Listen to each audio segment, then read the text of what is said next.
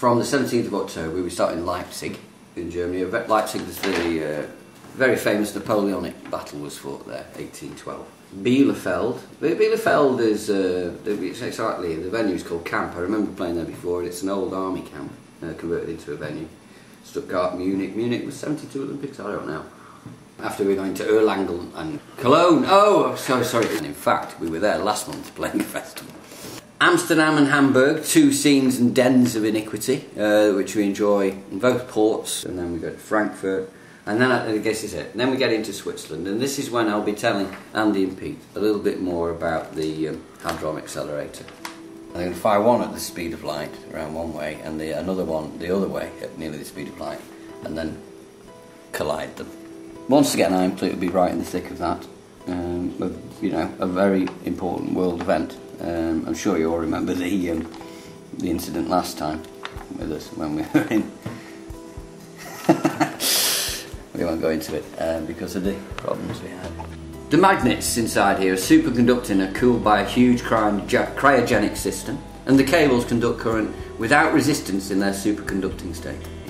Well, I have no idea what that means, uh, but it is it does sound pretty impressive, and um, again a parallel with the lyrics of I Am Kloot.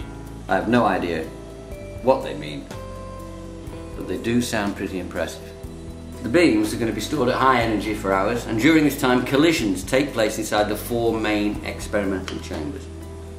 Again, a little bit like I'm doing the in rehearsal. Um, we, we are we are stored at high energy for hours, um, uh, each in our own separate chamber, and uh, communication and collisions then take place.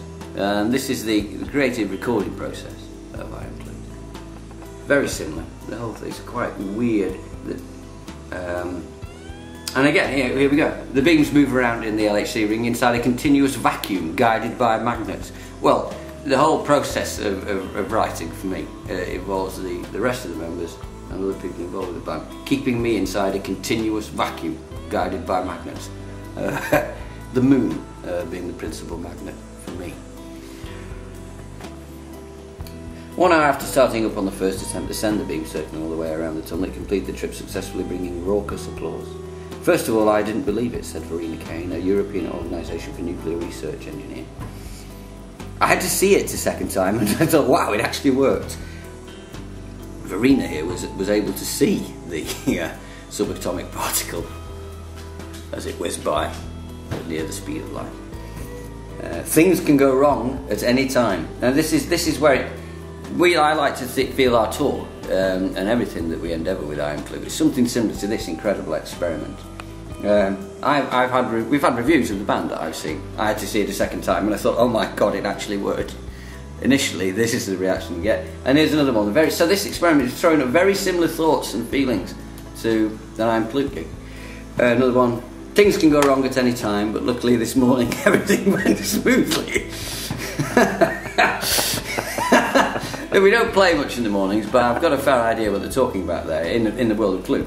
Um, um, obviously, there's a, there's a moment when we decide to go for breakfast, and I, I, remember Andy actually saying that things can go wrong at any time, but luckily this morning everything went smoothly. Uh, I don't know if I mentioned it. The whole thing, of course, is underground. I don't know how far deep underground, but uh, yeah, it's not visible to the eye. Again, the, the parallels with I Am Kloot uh, there. Everyone knows it's there. It's massive, but nobody can see it.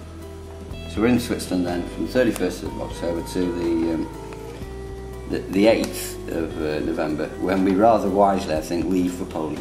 We've not been to Poland before. A place called Katowice, and uh, I've gone to Katowice. Sorry, pronounced Katowice.